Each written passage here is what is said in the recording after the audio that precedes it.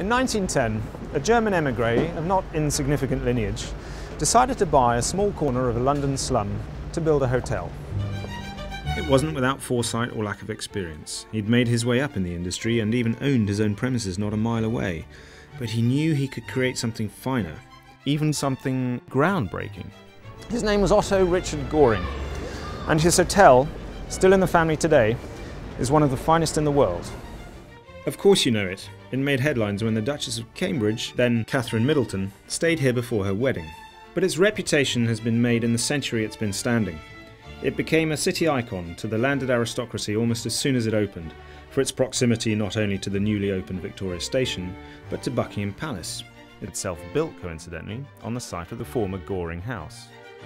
And this connection to the royal family has long been tied with its history. No surprise then that the Goring is the only hotel to have been granted a royal warrant by Her Majesty the Queen.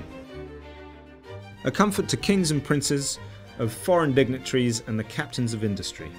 It's easy to see how one can feel at home here. Little surprise then, it's become a favourite of ours at the Arbuturian, though some of us have made it more of a home than others. Cup of tea, old chap. What sets the Goring apart is that it has innovated from the outset. It was the first hotel in Europe to have a private bathroom and central heating in each room. One of the first to have a completely automated lift, though somewhat temperamental. And many new technologies were embraced. It even had a vacuum cleaning system made up of a network of pipes with links in each room. A history of innovation, certainly. But what has defined the Goring throughout its hundred odd years is that it is quintessentially English. And there's one thing that embodies this tradition, one thing that makes it really special. This is the Royal Suite. Located on the top floor of the hotel, it's a penthouse, naturally.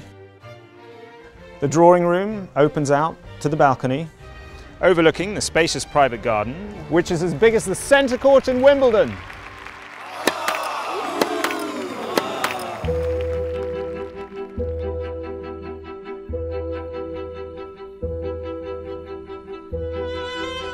The design that the hotel has undertaken in this, its latest incarnation, floor by floor, room by room, surely culminates in these few rooms.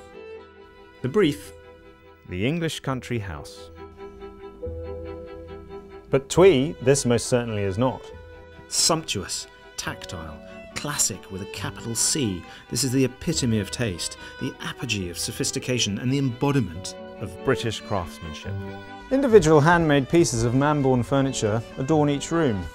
The walls are lined with woven Gainsborough silks. This particular pattern in the master bedroom is the same as that in the first class dining room on the Titanic. And in here, it's the same design as the throne room in Buckingham Palace. Do you mind? Sorry, old boy. Rather fitting, don't you think? For all the finery, it's also meant to be fun. For the Goring, you're encouraged to feel at home. Take this bathroom, for example. It's so designed so you can liberally splash about to your heart's content. One can get carried away, like the top end executive who dialed down to reception to complain. One of my ducks has sunk. It's very much a sense of fun. Where in the world can you shower with Queen Victoria? And there are elements of this English eccentricity, this idea of fun, all over the royal suite. Many of them are hidden away to be stumbled upon. This drawer, for example, features a letter from Princess Beatrix from 1866. Or here, it's an order of service from St George's Chapel. Or, ooh, I couldn't possibly say. And if you're wondering what's in this box, it's a gift to every guest of the Royal Suite. Bespoke letterhead from the Wren Press, the Queen's Own Stationers.